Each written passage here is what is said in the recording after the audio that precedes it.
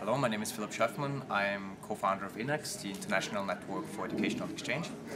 And um, I was asked about innovation, um, and the reason why we founded INEX actually was because we thought that innovation in education is something very important. Um, we're dealing with sustainability issues, and I think this is one of the main reasons for learning, because if there is no tomorrow, there is nothing to learn, and the other way around. So um, why we use innovation is because we think it is very important that people keep what they learn, that they have it in their heads, in their minds, and also uh, carry it in their hearts. So in order to achieve this and have a sustainable learning experience, um, you need to put people in different contexts. You have to use social learning, you have to use experiential learning, and all these innovations and a lot more is something we try to achieve.